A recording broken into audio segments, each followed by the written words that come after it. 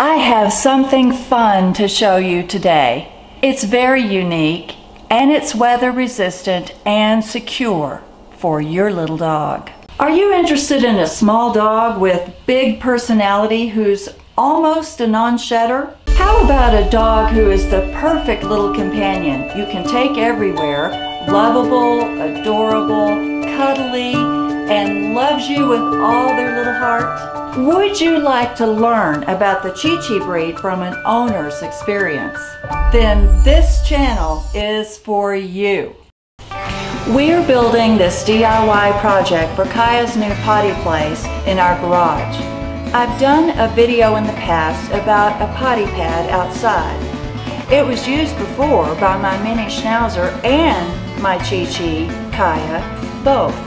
And it worked fine except for one problem. Our first problem was weather.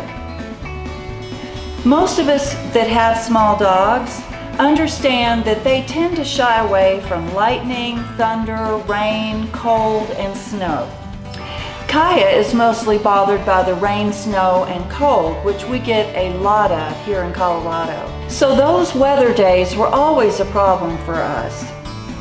She's a good girl and she'd go out and use the potty. I always had to stand at the door and watch to make sure she didn't just give up because she was cold or wet turn around and run right back in the house without ever having gone. And here it is. This is the Aivituvin, I guess is how you pronounce it. I'm not really sure. This is the brand that I bought. This is actually a rabbit hutch and I bought it for Kyiah to have a safe place that was weather resistant to go potty in. We had trained Kyiah on to use a string of bells hanging on the sliding glass door. This is how she would let us know she wanted to go out. She's pretty clever and she realized that those bells got our attention. So she started using them for other purposes, like to go out and smell the air, to see what the neighbors were doing, to get a drink out of the outside bowl on the patio rather than the inside bowl, to sit on the patio furniture or just to look out there and see if she could see or smell any rabbits. Well, you get the idea. We were jumping up and down all the time trying to answer that bell, especially in the evening when we were trying to watch TV and wanted to just sit there and rest and relax. Isn't that right? As a remedy to this problem, I thought we could just put something in the garage. Problem number three was that in order to access this potty place that I was dreaming up from inside the laundry room. She's going in now. Um, it needed to be tall enough so that she could go from the laundry room floor and directly in the potty place. So that's what led me to this hutch. But before I continue, I have to admit that I didn't come up with this idea by myself. I was inspired by my brother-in-law, Alan, who lives in Kansas City, Kansas. He built a small rabbit hutch in their garage that is accessed through a door similar to this that is used by their two cats in their laundry room. I thought it did a good job of keeping the cat box smells down in their house. The instructions for this hutch were easy to follow and understand, and it was easy to build.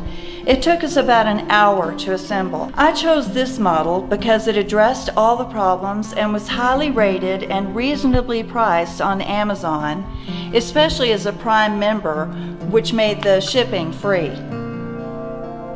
I've attached a link to this hutch and to the Prime membership in the description below for your convenience if you would like to look it up and possibly purchase. I do, however, recommend two people for construction so that one can hold the walls square as the roof and the walls are all being attached. Here's an important tip that you want to keep in mind. After you build the hutch, push it against the wall like we have. And in order to do that, we had to cut part of the roof off, the overhang here, so that it would fit flush against the wall.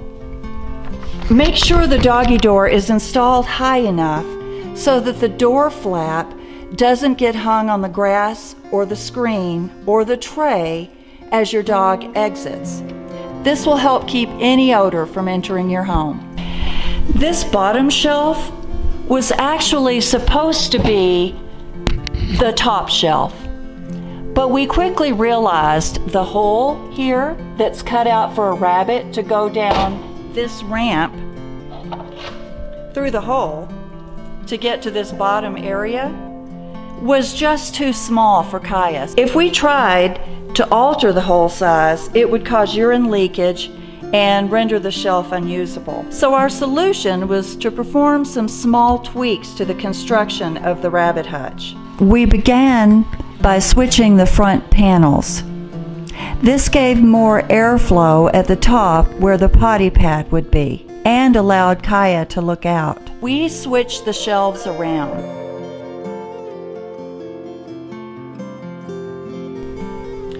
We had to remove the screws attaching the back plate just like this one on the back of the drawer.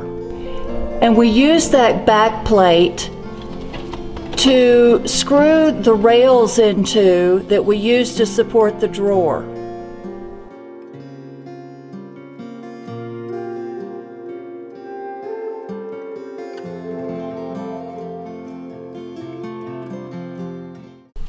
Since this drawer wasn't intended to be the top drawer, we had to add some small L bracket to hold the screen so that we could move the drawer independently of the screens. And that way, she can be on potty grass, which she's used to using. As needed, the potty grass can be hosed off and placed back on the screen. As an alternative, you can keep sections of the fake grass that are cut to size to replace the older soiled ones. Or you could use potty pads in place of grass. I use the bottom half of the hutch to hold doggy treats, tools to clean the litter, and plastic bags. This hutch is approved by the manufacturer for outdoor use, and in fact, it has a sturdy roof with roofing material. This rabbit hutch can also be used on an upstairs or ground level deck in your home or apartment. The other night, Kyiah had diarrhea, and we had her in bed with us but she kept jumping up and all through the night and asking to go potty. So we finally just put her in the laundry room on her little bed. This was perfect for us because it allowed her to go in and out as she needed and not keep us up half the night, taking her up and down the stairs for her emergency potty visits. I wanted to give you some additional helpful hints for puppies. If I were starting Kyiah, right now as an eight week old puppy, I would probably train her just to use the litter. That way, you could eliminate both the grass and the screen underneath. But I don't think this method would work for Kyiah now because I trained her using potty grass and she likes the way it feels under her paws. And when Kyiah was a puppy, and even today at 19 months old, she still has a tendency to eat almost anything that strikes her fancy. She eats lots of things, like tissue paper, newspaper, magazines, or even trash she finds at, on our walks or in a parking lot or on the street.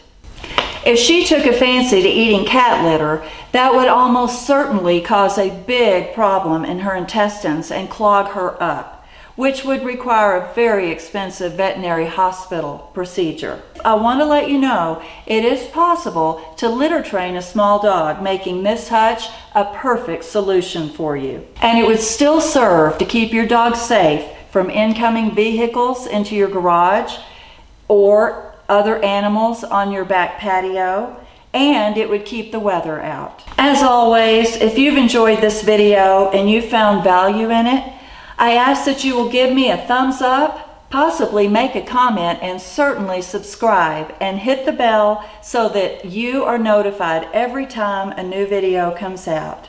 Thank you for watching and we'll see you next time.